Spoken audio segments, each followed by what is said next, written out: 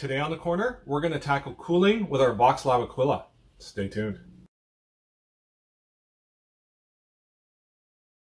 Hey everyone, welcome back to the corner. It's me, Jeff, and I just want to say my original intro, I had no audio on it, so I had to re-record this, and that's why you see I'm kind of starting to take this apart right now. So let's back up a bit. With the Voxelab Aquila, they have an injected molded cooling fan on it and it just is a snap in place piece.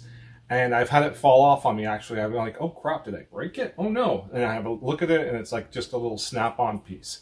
So what I'm going to do this week is I actually, I downloaded um, off of Thingiverse. I downloaded off of Thingiverse this cooling shroud that I'm going to replace it with. Now, there's a couple of them out there, but I chose this one because you don't have to do any modifications to your printer. You don't have to add an extra fan. You don't have to do any soldering, any rewiring, anything. It should be a direct swap. And it's going to allow you to have cooling on both sides of your nozzle by simply ducting some of the air from the fan to the other side. Uh, it does have a BL Touch mount. I do have a BL Touch on here currently, but you don't need a BL Touch in order to use this. You can still use manual leveling without a problem. So this cooling fan is actually a remake of the Satsana cooling fan uh, that's used on an Ender 3. It um, was done by a gentleman named Jeremy Lawliet. I hope I'm pronouncing this right. The link's going to be in Thingiverse down below. I also, you'll see going forward, um, when we go back You'll see going forward, when I go back in time to show you the uh, original thing here, what I did was I, um, I printed out two overhang tests, one facing each side, so towards the fan and away from the fan.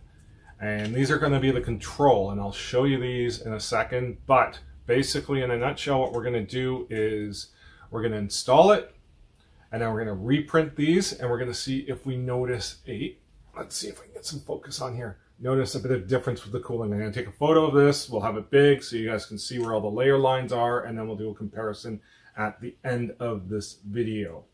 So i'm going to continue working on this now and hopefully i don't have any more technical issues. Okay, so let's get at her. So here I'll be preparing to mount the new shroud. Um, it's actually quite interesting. I believe there's only two screws that hold it on, but it holds it on quite steadily, and it allows the fan to blow down, and instead of one side, it's actually split, so it will go to the one side, and then it will go around the front of the shroud and then go to the back of the shroud. So you get cooling from both sides. So this hopefully will improve.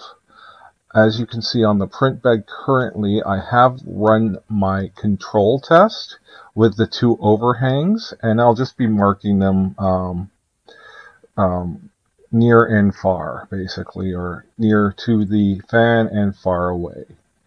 So as you can see here, I'm going to inspect them and we're going to show how you can see that the one side, um, the one by my fingers here actually has a little bit worse cooling. You can see it on the second bend, how it starts in between the second and third bend, as opposed to the other one, which is actually not too bad. Uh, yeah, I'm pointing to it right now. That's kind of the area that we're going to try and see if we can improve on a bit by hopefully having the cooling on both sides. So I'll start disassembly of the stock shroud by removing my BL Touch and my BL Touch mount.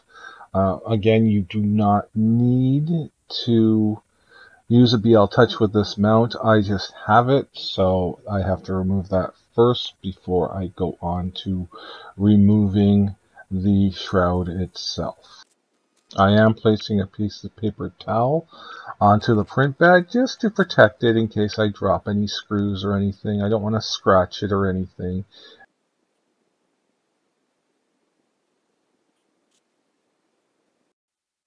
So there are two hex nuts um, behind the carriage that need to be removed and I'm pointing those out right now so you'll just have to get those first.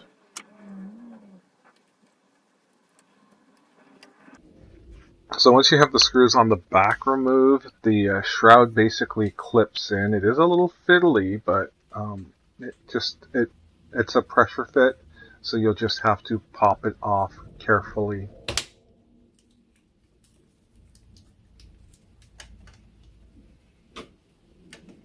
And there's a zip tie here that we're going to just snip off for now, just to give us a little bit of flexibility, moving stuff around.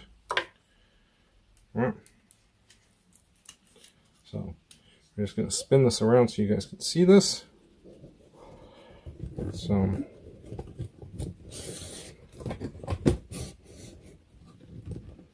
all right. So there's two fan there's two fans in here. So we're going to remove this fan first by there's a screw here and there's a screw over here. So let's take this out. The cooling fan. There's a screw right here. Right here for the cooling fan that you have to remove first. Alright. Remove the cooling fan screw. And then this should come right off. So the shroud is now completely empty. We have the cooling fan here. So we have these two screws to take care of.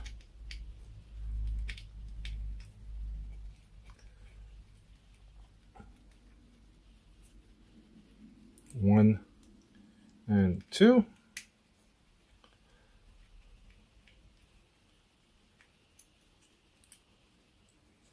And that will remove.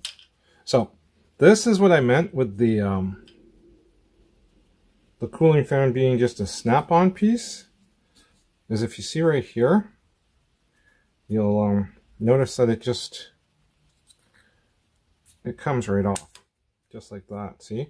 So when this falls off, I thought it was broken. But in fact, it is just um, a little snap-on piece, just like that. See? So let's get rid of that. On the back of this, there is this screw hole right here. And this screw hole.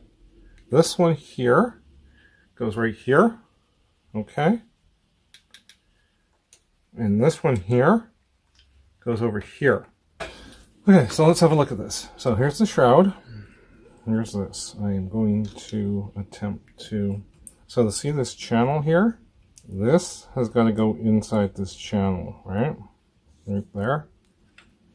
Like this, all right? Then it should pretty much almost line up exactly where you need it to.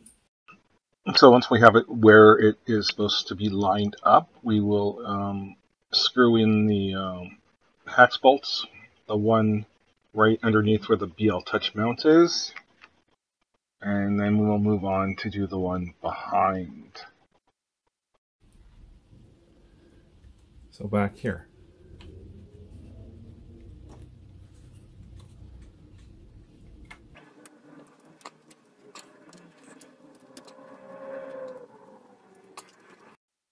And we move on to replacing the hot end cooling fan. Just note that the sticker faces towards the hot end, not towards the outside.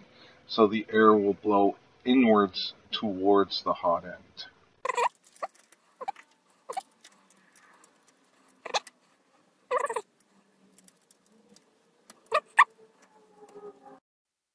Onto the parts fan now. Um, you'll um, mount this so the blower faces downwards into the hole and then you should have two screws left over to mount this.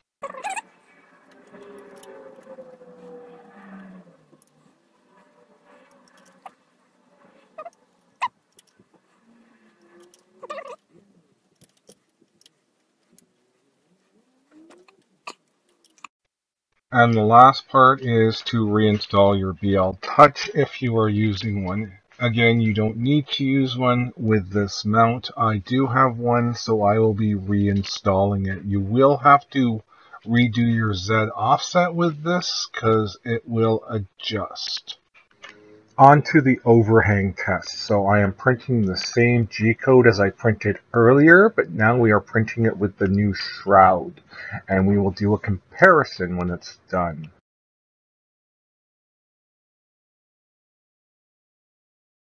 So the print's done with the new shroud on there. Let's have a look at it. Um, pull this off of the bed here and see if this is actually better or worse or the same. Um, I'm going to zoom in over here so you guys can have a look. So the comparison for the before and after, um, I'm going to put that up on the screen, big right here. That way you can see that um, the, bef um, the before and after for the part cooling side of the duct, as you can see, they're very, very similar. It doesn't really look like there's a change at all. And the um, other side now is um, you look at it and you see it does show some improvement. So this is uh, a decent improvement. Um, stock for your Aquila. I'd like to see this remixed with a uh, blower fan on it. So funny, I just had to interrupt that video right now. This is again the stock. Now the one thing I did notice with the stock that there is a bit of a gap um, between the blower and the fan. I just put a little piece of electrical tape there and that seemed to seal it. I noticed that a little bit of uh, air was coming out the side from the blower so that actually improves the cooling down below here. But now it's funny that I just said I wanted this remixed for a um, blower fan. So what I've done is I am currently in the process of just testing this and remixing this for a blower fan. So I need to um, just make sure my holes are all lined up properly here and make sure the shroud is sitting properly. But yeah, I'm going to actually post this uh, in my Dropbox. And I'll leave you guys a link at the end of the video for this as well. If you want to replace this stock parts and the cooling fan with a blower option, I'll be able to give you that. Okay, so back to our video. This is a low cost improvement that you don't have to change any hardware on whatsoever on this printer. You just need to um, change out the fan shroud. It's actually, in my opinion, this is easier to actually work on your fans and stuff rather than the uh, stock shroud because they're all easy access. You can get to them right away. But as it is, I think it's a decent little improvement for this printer. So thanks so much for watching. Please hit the subscribe button, leave me a thumbs up, leave some comments below. If you've tried a different cooling system, let me know what you think. And until next time, peace out.